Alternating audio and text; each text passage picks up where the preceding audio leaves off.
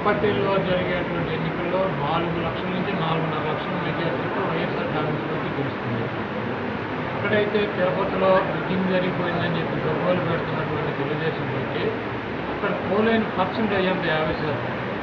అంటే ప్రజలంతా ఏం ఓటేయలేదు యాభై శాతం మేమే చూసుకున్నాం ప్రజలు అత్యంత తక్కువగా పోలైనటువంటి ప్రాంతం తిరుపతి టౌన్ యాభై శాతమే పోలైంది.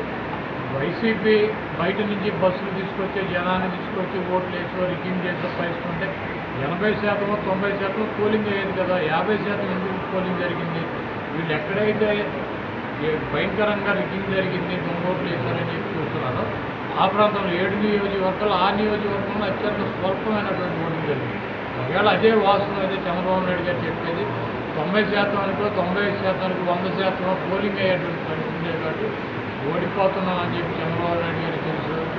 బీజేపీ తెలుసు అందరికీ తెలుసు. ఓడిపోయేటప్పుడు ఏదో ఒకటి ఎందుకు ఓడిపోయామంటే రేపు ఎందుకు రేగుతున్నామంటే ఎక్కడతాకని చెప్పి కారణం కావాలి కాబట్టి అందుకని చెప్పి ముందే కుంటి పుట్టి సాగు ఆయనకు ఉన్నటువంటి ఎల్లో మీడియాలు పొద్దు నుంచి పెట్టి టూరిస్ట్ బస్సులు ఆపి దొంగ ఓట్లు వేయాల్సిన లేదు. నాలుగు లక్షల పైన మెజార్టీతో ప్రజలు స్వచ్ఛందంగా ఓటేసినటువంటి ఓటుతో ముఖ్యమంత్రి గారు MP seat YSR Congress party గెలుస్తారు ముందు ఒకసారి అనుకుంటే అది చాలా తప్పు. ఎందుకంటే ప్రపంచవ్యాప్తంగా లాక్డౌన్ పెట్టి నెలకు నెలలు మొత్తం స్తంభింపజేసినా కూడా ఎక్కడ కూడా కరోనా లేదు. ఓన్లీ ముందు జాగ్రత్తలు. ప్రతి వ్యక్తి మాస్క్ ధరించడం కానివ్వండి శానిటైజర్ వాడటం కానివ్వండి గుంపులు గుంపులుగా తిరగకపోవడం కొంత డిస్టెన్స్ మెయింటైన్ చేయడం అవసరం అయితేనే బయటికి రావడం అవసరం లేనప్పుడు.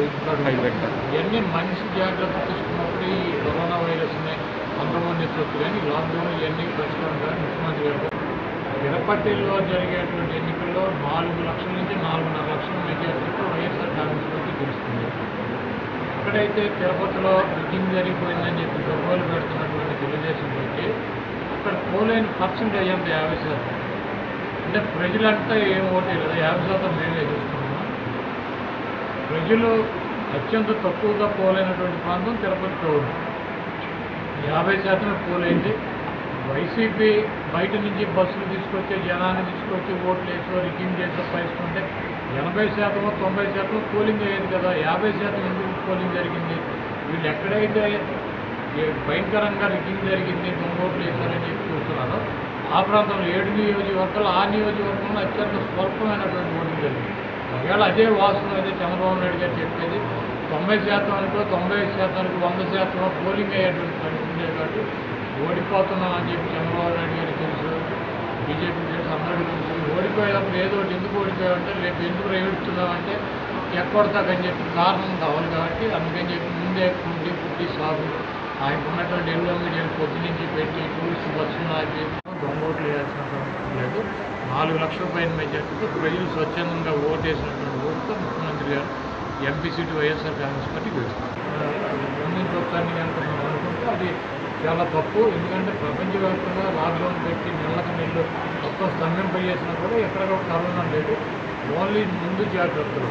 ప్రతి వ్యక్తి మాస్క్ ధరించడం కానివ్వండి శానిటైజర్ వాడటం కానివ్వండి గుంపులు గుంపులుగా తిరగకపోవడం కొంత డిస్టెన్స్ మెయింటైన్ చేయడం అవసరం అయితేనే బయటికి రావడం అవసరం లేనప్పుడు ఇంట్లో. ఇవన్నీ మనిషి జాగ్రత్త తీసుకున్నప్పుడు ఈ కరోనా వైరస్ని అంతమంది ఎత్తొచ్చు కానీ లాక్డౌన్ ఇవన్నీ పరిష్కారం కానీ ముఖ్యమంత్రి గారు